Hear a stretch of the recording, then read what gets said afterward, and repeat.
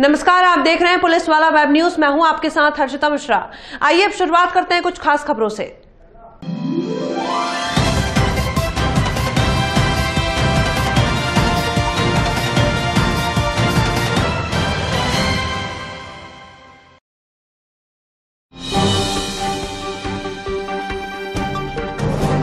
राजधानी भोपाल के हनुमानगंज इलाके में चोरी की योजना बनाते हुए तीन आरोपियों को पुलिस ने गिरफ़्तार किया है।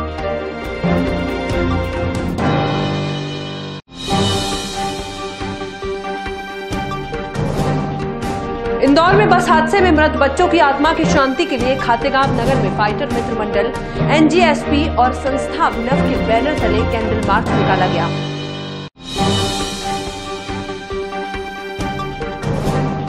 इंदौर शहर की क्राइम ब्रांच टीम ने अवैध हथियारों का निर्माण कर उनकी तस्करी करने वाले एक गिरोह का पर्दाफाश किया है।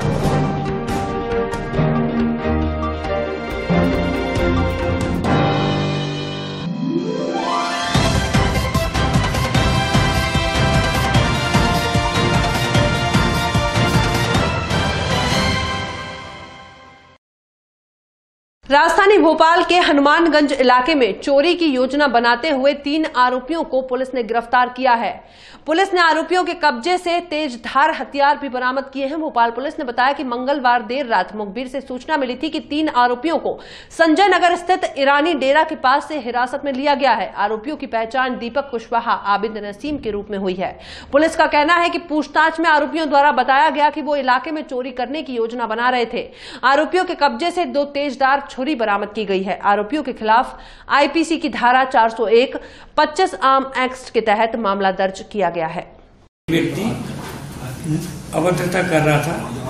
स्थानीय जनता के द्वारा डायल हंड्रेड पर सूचना दी गई। इस सूचना पर मौके पर थाना प्रभारी स्वयं थाना प्रभारी तलैया मौके पर स्वयं गए। जाकर के उसकी क्योंकि वो जनता के साथ अभद्रता कर रहा था उसकी मानसिक दशा देखने से समझ में आ गई थी कि वो मानसिक रूप से सही नहीं है मेंटली रिटार्टेड टाइप का लग रहा था। जिसको थाने में लेकर के तलैया पहुँचा गया और किसी प्रकार की कोई उसके द्वारा पुलिस स्टाफ के साथ कोई मारपीट की घटना नहीं हुई। वो वीडियो जो वायरल हुआ उसमें हाथ का एंगल जब उसको गाड़ी में बिठा रहे थे, क्योंकि मेंटली रिटार्टेड व्यक्ति है, उसको बिठाने में थोड़ी कठिनाई उत्पन्न हुई।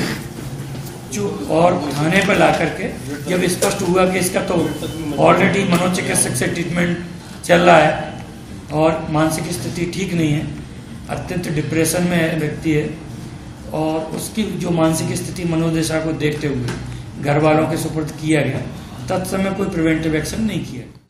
इंदौर में बस हादसे में मृत बच्चों की आत्मा की शांति के लिए खातेगांव नगर में फाइटर मित्र मंडल, एनजीएसपी और संस्था अभिनव के बैनर तले कैंडल मार्च निकाला गया और श्रद्धांजलि सभा रखी गई। कैंडल मार्च पुलिस थाना परिसर से नगर के प्रमुख मार्गों से होते हुए पुनरू पुलिस थाना परिसर पहुँचा, जहाँ श्रद्धांजलि सभा हुई। इस दौरान मंडी अध्यक्ष दिनेश यादव, फाइटर मित्र मंडल रवि यादव, अनिल यादव, संस्था अभिनव से विजय माधव यादव, राम सिंह यादव और स्कूल संचालकों की ओर से संतोष शर्मा सहित अनेक विद्यार्थी और खिलाड़ी भी कैंडल मार्च में सम्मिलित हुए। दो मिनट का मौन रहकर श्रद्धांजलि अर्पित की। श्रद्धांजलि सभा को संबोधित करते हुए मंडी अध्यक्ष दिनेश यादव ने कहा कि इंदौर में हुई सड़क दुर्घटना एक हृदय विदारक घटना है। मन अत्यधिक पीड़ा से भरा है। ईश्वर से मासूम बच्चों की आत्मा को अपने चरणों में स्थान देने की प्रार्थना करता हूँ और परिवार को इस हृदय विदारक घटना में संबल प्रदान करने की प्रार्थना ईश्वर से कर रहा हूँ। सारे छात्र छात्राओं के बीच उपस्थिति में इंदौर में जो दुखद घटना घटित हुई उन बच्चों के साथ, उसको लेकर समस्त नगर के जो प्रमुख जन है, संगठन है, उनके द्वारा कैंडल मार्च निकाल कर श्रद्धा सुमन अर्पित की गई। इलाहाबाद में तीर्थों के राजा प्रयाग संगम के किनारे लगने वाले माघ मेले में रात के समय एलईडी और रंगीन लाइटों से एक अलग ही शहर बसा होने की अनुभूति होती है। तंबुओं के बीच से निकलती रोशनी में पूरी गंगा यमुना का जल रोशनी में टिमटिमाता रहता है।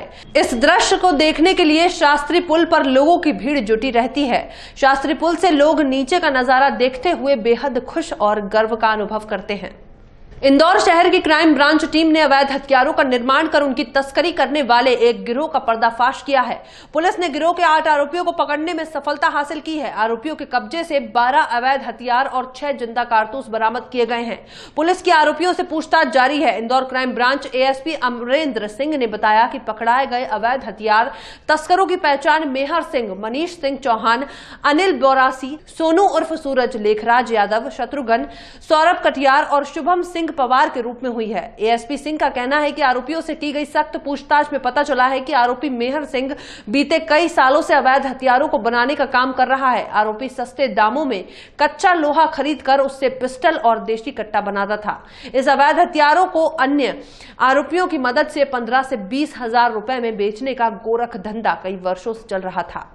जबलपुर के आधारताल थाना अंतर्गत महाराजपुर में प्रदीप पटेल नामक युवक को पुरानी रंजिश के चलते गोली मारी है। दिन दहाड़े हुए इस घटनाक्रम से पूरे क्षेत्र में दहशत का माहौल है। बताया जा रहा है कि प्रदीप भाजपा के मंडल का कार्यकर्ता है और सुबह आधारताल स्थित अपनी दुकान जा रहा था। तभी अचानक दो लोगों ने मौका देखते ही प्रदीप पर गोली चला दी। प्रदीप को जांग के पिछले हिस्से में गोली लगी है, जिसे गंभीर अवस्था में निजी हॉस्पिटल ले जाया गया है। बहरहाल पुलिस ने मामला दर्ज कर कुछ अज्ञात अज्ञात हमलावारों की तलाश शुरू कर दी है। देश में किन्नरों का काम शुभ मौकों पर लोगों के घरों पर जाकर बधाई देने या ट्रेनों, बसों, दुकानों में लोगों से पैसे मांगकर गुजारा करने तक ही माना जाता है। लेकिन नवी मुंबई का एक रेस्टोरेंट किन्नरों की ज़िंदगी में अलग तरह से बदलाव ला रहा है। इसके पीछे सोच है कि उन्हें भी समाज की मेन स्ट्रीम में शामिल किया जा सके। दो हफ़्ते पहले खुले थर्ड आई नाम के इस कैफ़े में फ़िलहाल छह किन्नरों को नौकरी दी गई है। इस कैफ़े में किन्नर ही कस्टमर्स को खाना परोसते हैं। किचन संभालने की ज़िम्मेदारी भी इन पर है। इस कैफ़े में कुल 20 एम्प्लॉय हैं। ये कैफ़े नवी मुंबई के वाशी में स्थित सेक्टर 19 डी में है।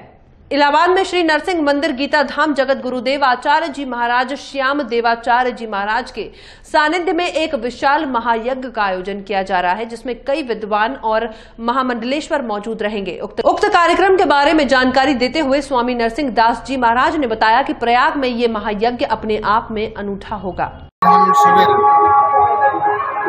श्री रामानंदाचार्य मार्ग में दिनांक 16 से 22 तक श्रीमद् भागवत तत्व चिंतन सप्ताह ज्ञान यज्ञ का आयोजन किया जा रहा है, जिसके प्रवक्ता प्रवक्ता अंतर्राष्ट्रीय ख्याति लब्ध अभिनव शुक्ल सुखदेव श्रीमद जगत गुरु नरसिंह पीठाधीश्वर डॉक्टर स्वामी श्याम देवाचार्य जी महाराज होंगे। पूज्य गुरुदेव डॉक्टर स्वामी श्यामदास जी महाराज श्रीमद् भागवत में जीव का स्वरूप पर शोध कार्य किया है। और श्रीमद् भागवत में आप का हस्त है। प्रदेश सरकार सरकारी अस्पतालों में गरीबों को अच्छी चिकित्सा सुविधा देने का प्रयास कर रही है, लेकिन नीमच जिला अस्पताल के आलम यह है कि जिला अस्पताल में डिलीवरी के लिए नीमच घंटा घर के पास रहवासी महिला इमरान भी अपने पति मोह शाकिर के साथ छह घंटे तक इधर उधर भटकती नहीं लेकिन महिला को जिला अस्पताल में डिलीवरी के लिए भर्ती नहीं किया गया, जब महिला दर्द से तड़पती हुई जिला अस्पताल संघर्ष समिति के साथ अपनी फरियाद लेकर जिला कलेक्टर कार्यालय पहुँची। तो कलेक्टर के निर्देश पर स्टेनो बलदेव शर्मा और अपर कलेक्टर विनय कुमार वाहन में महिला को बिठाकर जिला अस्पताल पहुँचे और महिला को डिलीवरी के लिए अस्पताल में भर्ती किया गया। महिला के पति का आरोप है कि जिला अस्पताल में उपचार के लिए आने के बाद ड्यूटी डॉक्टर नमिता ओझा ने महिला को तीसरे ऑपरेशन के लिए प्राइवेट क्लिनिक में जाने की बात कही और अस्पताल में उपचार से मना किया गया। इधर अपर कलेक्टर विनय कुमार धोखा कहते हैं कि संसाधनों की कमी के कारण थोड़ी जिला अस्पताल में समस्याएँ आ रही हैं, लेकिन जल्द से जल्द ही समाधान होगा। महिला की शिकायत पर तुरंत जिला अस्पताल में बात कर भर्ती करवाया गया है। जल्द ही शिकायत पर जाँच की जाएगी। डिलीवरी की तो वो वो नमिता ओझा मैडम थे रही थे नहीं तीसरी नहीं होगी यहाँ पे। क्यों कारण बताया उन्होंने? ये नहीं बताया। यहाँ पे मशीन की सुविधा नहीं है। यहाँ किस तरह का बर्ताव किया गया आप लोगों के साथ में? वो नर्सों ने और है ना और भी यहाँ पे जो काम करती है उन्होंने बदतमीजी से बात करी और जो आए थे हमारे साथ उनसे भी। तो आपको ऑपरेशन के लिए क्या बोला गया यहाँ से? कि यहाँ प्राइवेट में जाओ यहाँ पे नहीं होगा। कौन सी डॉक्टर थी यहाँ पे? नमिता ओझा। ठीक है आपका नाम बता दीजिए। इमरान। देखिए अब इस तरह की कोई स्थिति है तो उसके संबंध में जानकारी लेते हैं। और सीएमएचओ को उसके संबंध में आवश्यक कार्रवाई के लिए कलेक्टर साहब के सर, वहाँ पे जो महिला डॉक्टर है डिलीवरी के टाइम एट टाइम एक डॉक्टर की ड्यूटी रहती है। अभी जब हमारी मीडिया की टीम वहाँ पे पहुँची, हम आधे से पौन घंटे वेट करते रहे, कोई भी महिला डॉक्टर नहीं हो, नर्सों का कहना है कि हम घर से मैडम को बुलाते हैं। ऐसा क्यों?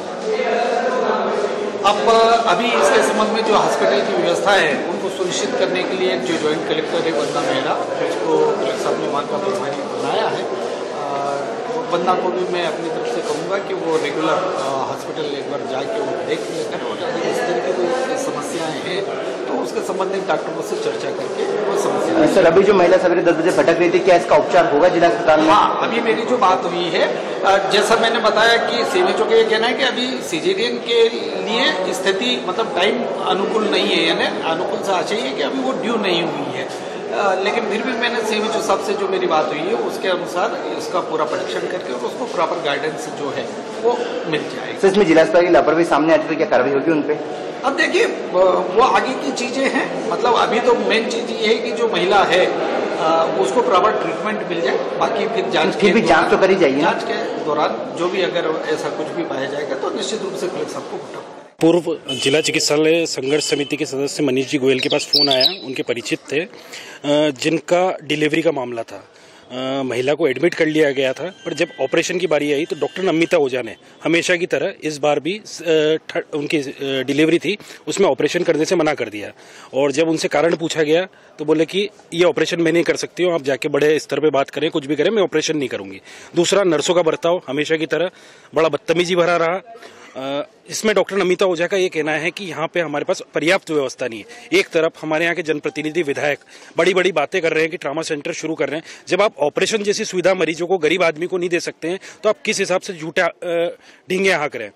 नीमच विधायक एक नंबर के सुस्त और नाकारा विधायक है, जिनने दो बार विधायक रहते हुए शहर की महत्वपूर्ण सुविधा अस्पताल, चिकित्सा सेवा के लिए वो कुछ नहीं कर पाए। कलेक्टर महोदय संपर्क करने का प्रयास किया। शायद वो टीएल मीटिंग में व्यस्त हैं।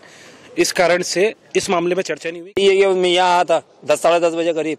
और उन्होंने मैडम को ने कहा। मैडम ने वहाँ से मेरे को बदतमीजी से बात करी। बदतमीजी से बात करी, मैंने कि मैडम, ये ऑपरेशन मेरे बच्चे हैं और ये तीसरा ऑपरेशन मेरे को कराना था। तो इतने में नर्स बोल गई। बोला, यहाँ कोई बदतमीजी से मतलब बातचीत करने लग गई। अनसन बोलने लग गई, वाइफ को और हमारे को बोला, आप यहाँ से जाओ, उदयपुर ले जाओ। उसके बाद में फिर हम मैं यहाँ से वापस बाहर आया, फिर वापस अंदर गया तो उन्होंने फिर वो अनसन बातें करने लगी वापिस। नहीं तो क्यों ऑपरेशन क्यों नहीं हो पाएगा क्या बताया बोले ये हमारे खाने सुविधा नहीं है। तो मैंने कहा, मैडम ये सुविधा क्यों नहीं है? तो बोलते आप सरकार से बात करो। तो सरकार से किससे बात कर रहे हैं हम? हमारे खाने कोई ऐसी जानकारी भी नहीं है हम सरकार से बात कर रहे हैं। बोला आप तो उदयपुर ले जाओ इनको। अर्मिता ओझा और दो तीन नर्सें थी जिन्होंने मेरे से बहुत बदतमीजी से बातें करी है अंदर। और शब्द बोले मेरे को। उज्जैन ज़िले के घोसला राघवी पुलिस ने अवैध रेत परिवहन के मामले में तीन डंपर जब्त किए हैं। डंपर बिना रॉयल्टी के मिले हैं। राघवी थाना क्षेत्र के टीआई दिनेश भोजक और पूरी टीम ने डंपरों को जब्त कर प्रकरण दर्ज कर राघवी थाने में खड़े कर दिए हैं। अग्रिम कार्यवाही पुलिस द्वारा की जा रही है। और फ़िलहाल खबरों में इतना ही। मुझे दीजिए इजाज़त। नमस्कार।